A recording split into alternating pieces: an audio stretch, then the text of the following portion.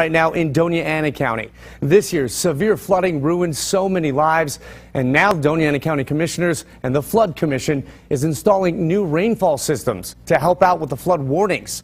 New at 9, here's ABC 7's Luke Litton, and he's with our New Mexico Mobile Newsroom. The Doña Ana County Flood Commission has installed its first series of rainfall monitoring stations right here in Doña Ana County, which will help aid in flood warnings. Our job is not uh, is primarily to save lives. What we want to do is just get people out of the out of harm's way. The new project will allow residents to get real-time rainfall information and areas for potential flooding all through the computer. And it tells you exactly what uh, information is being uh, collected at that particular site. Not all sites will be collecting the same information. We're here in La Mesa, New Mexico, and this is where the first weather station has been installed in Doña Ana County. If you take a look, this weather station right here can help measure the temperature, the precipitation in the area, and even predict if flash floods are imminent in the area.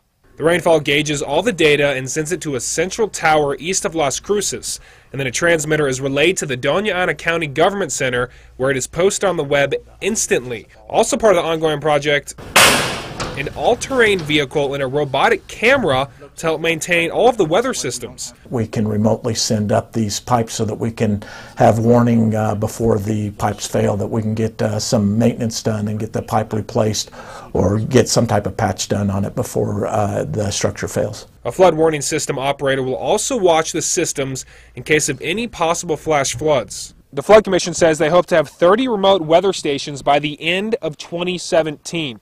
Reporter from La Mesa from our New Mexico Mobile Newsroom, Luke Litton, ABC 7. Well, here in